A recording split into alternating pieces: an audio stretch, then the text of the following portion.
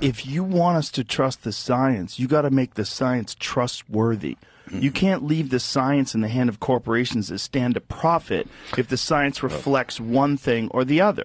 You can't do that. Yeah. Because they do it, they've done it forever, they've been fined for it. You know they do it, you know it's standard practice, you know that they've run multiple tests and multiple studies, and they'll throw out the ones that don't show any positive results, and they finagle the studies to show some kind of fugazi positive thing, and then they'll start prescribing it to Yeah. people. Yeah. And they do it for money. You know they do it for money. Yeah. Everybody knows they do it for money. So shut the fuck up about this science thing until you can sort the science out. Until you know the science. Unless you have a third party, non-biased, where there's not a revolving door Right. between the, the, the government organization and the pharmaceutical drug companies, which we know there is.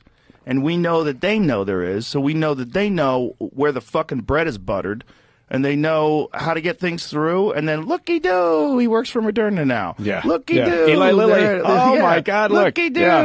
Yeah. GlaxoSmithKline just hired Yeah. them. Yeah. You know, I mean, look, I'm not. Uh, everybody should make money. I'm glad pharmaceutical drug companies exist. They make awesome stuff. Right. But you got to be honest, and you don't hit me with that trust the science shit if you haven't made the science trustworthy. Stop.